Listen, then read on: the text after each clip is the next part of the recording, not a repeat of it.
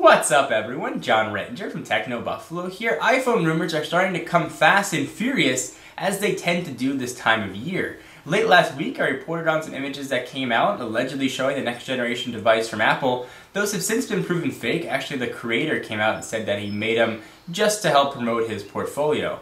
However, in the past day, a new set of images have been put out, this time by Engadget, they feel pretty confident are the next generation iPhone, or at the very least, an early prototype of it. Uh, it's commonly being called the iPhone 4G, however I do not believe that's going to be the final name.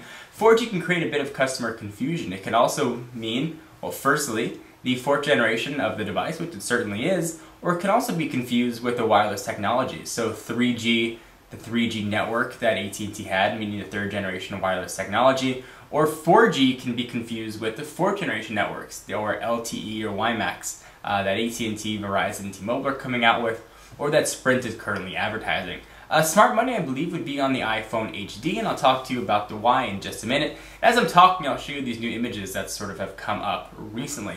So let me give you a bit of history on these images. The day before the iPad was released, Engadget leaked some images. Uh, the first time we'd actually seen what was going to be the iPad. It looked like it was deep inside the coffers of Apple's headquarters. Uh, it was actually almost chained down to a table. But on top of what actually ended up becoming the iPad was actually a picture of an iPhone, which people didn't really think of much at the time. However, upon further inspection, it actually looked to be new hardware that we hadn't seen yet. You could look see a front-facing camera, and all you could see was a Connect to iTunes logo on the screen.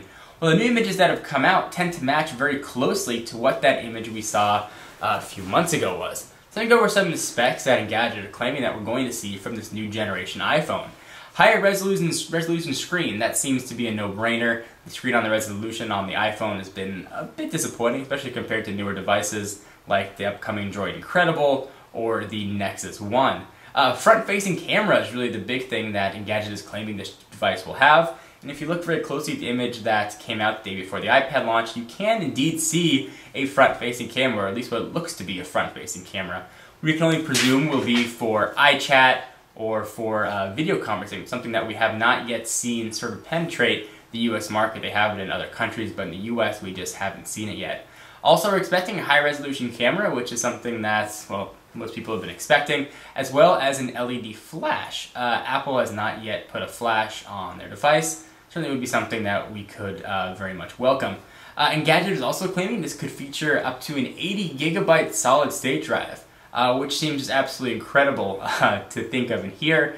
And also, allegedly, it's going to use the micro SIM technology, uh, which we're going to see in the iPad 3G. Essentially, all that is a typical SIM card cut down to be a bit smaller. The interesting point of discussion, uh, the 3G iPad is actually unlocked, but does use an AT&T micro SIM. Kind of makes you wonder if the next generation iPhone with that micro SIM is also going to be sold unlocked, but with an AT&T micro SIM inside of it. Uh, perhaps that could be the first ushering of the iPhone on multiple carriers. We've been hearing Verizon rumors for quite some time. So what do you guys think about these new images? They look real or fake? Uh, it's hard to tell. Doesn't look like a, a finished Apple product if they are indeed real. Uh, perhaps an early prototype to demonstrate sort of how the hardware would function.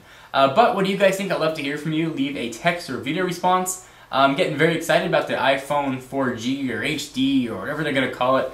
Uh, looks like it's going to take a, a next step forward uh, for Apple and iPhone fans. Anyway guys, I'm Jon Rettinger from TechnoBuffalo, and I'll see you in the next video. Bye-bye.